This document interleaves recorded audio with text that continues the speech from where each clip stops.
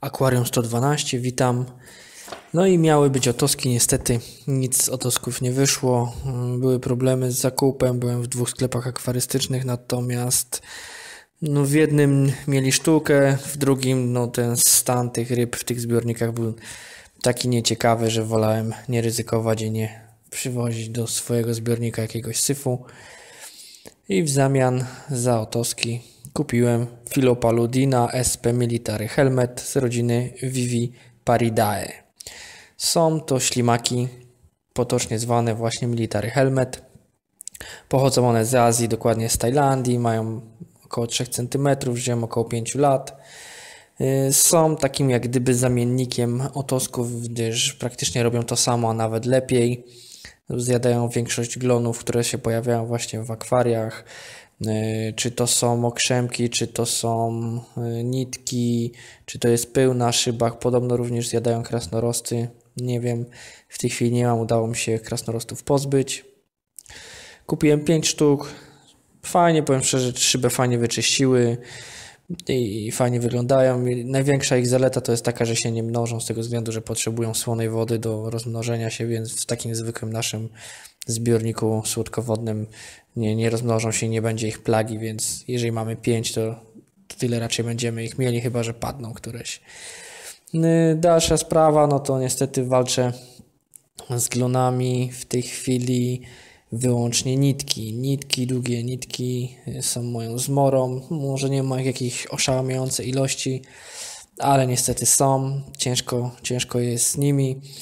No i co, co w związku z, nim, z, tym, z tymi nitkami postanowiłem zrobić i co robię. Y, przede wszystkim zmniejszyłem oświetlenie, mm, do, zostawiłem jedynie świetlówki 2x18W te ósemki, czyli zostawiłem 36 W. Standardowo świecę 10 godzin dziennie.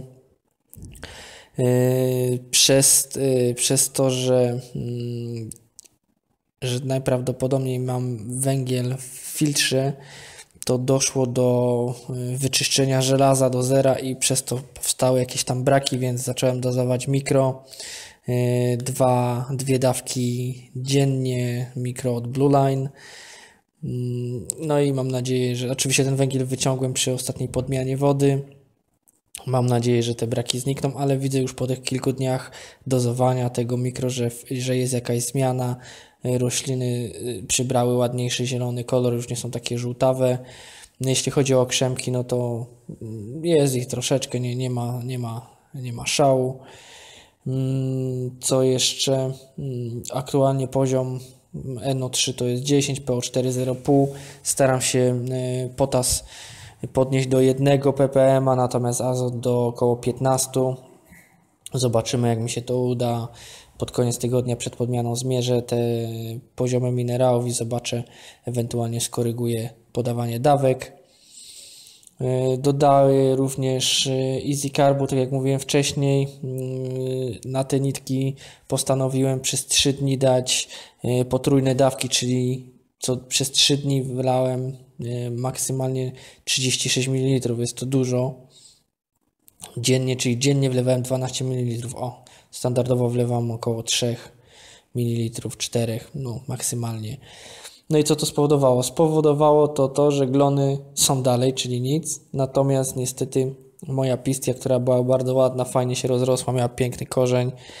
Mm, nawet doszło do tego, że się podzieliła i były już cztery ładne pistie, to niestety się rozpuściły. Zostały z niego takie gluty pływające, mm, trzy, cztery chyba sztuczki, sztuki takie malutkie, centymetrowe. Nie wywalam, zobaczymy, mam nadzieję, że się uda, od, odżyją i i będzie dobrze.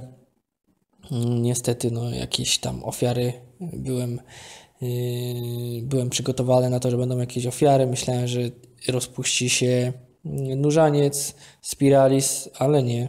Nic, nic mu się nie stało. Glonom niestety też nie.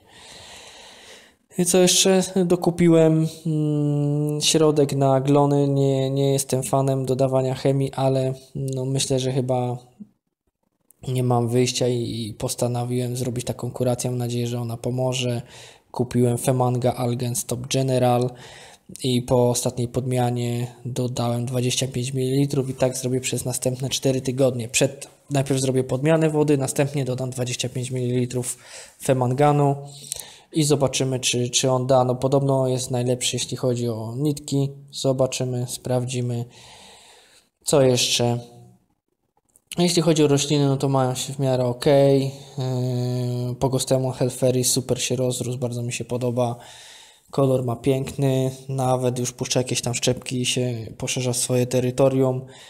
Yy, Echinodorus Vesuvius też puścił kłącze, w którym miał około pięciu pięciu nowych odnóżek, odciąłem i postanowiłem zagęścić, także mniej więcej Także w tym miejscu, w którym mam posadzony Vesuviusa, w koło jego posadziłem nowe szczepki, tak żeby jak wyrosną, no to żeby był taki jakby większy, większy krzaczek. Y, dość mocno przyciąłem rośliny. Y, Ludwikia standardowo dorosła do tafli, więc ją przyciąłem na równo z korzeniem. Postanowiłem też przyciąć dość mocno E, Hygrophila deformis, ale ona już, tak jak mówiłem, to jest taka roślina, że będzie żyła bez względu na to, co z nią zrobimy, jak ją potraktujemy. Fajnie, podoba mi się. E, postanowiłem również um, hydrokotyle Japan tutaj przy plaży koło korzenia posadzić z tego względu, że tutaj jest dość tak ciemno, korzeń jest ciemny, są te kamienie i kryptokoryna Wendy Brown, więc takie są klimaty te brązowe. Postanowiłem tam coś zielonego wprowadzić. No i padło na hydrokotyle Japan, która się fajnie tam rozrośnie. Przynajmniej mam taką nadzieję. Dwa, dwie szczepki wsadziłem.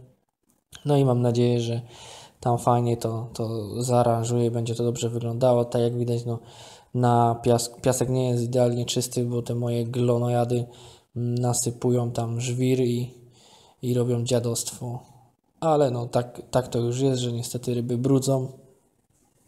Niestety, no ja, że tak powiem, jestem w akwarystyce bardziej nastawiony na rośliny niż na ryby, ale znowu z drugiej strony moja żona woli ryby niż rośliny i jakoś musimy pogodzić ten temat. No i taka jest moja walka z glonami. Mam nadzieję, że, że to się uda i te glony zwalczę do końca i nie będzie z tym problemów.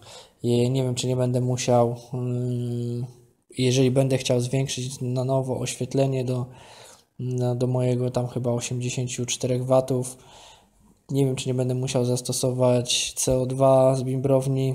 Wola, nie chciałem tego robić, ale chyba będę zmuszony. No nie wiem, zobaczymy. Na razie niech to się ustabilizuje, nie będę tam nic grzebał przez miesiąc, dwa. Niech to się zarośnie powoli, niech to jakoś w sumie zacznie normalnie, sensownie wyglądać. No to tyle, dzięki bardzo, pozdrawiam.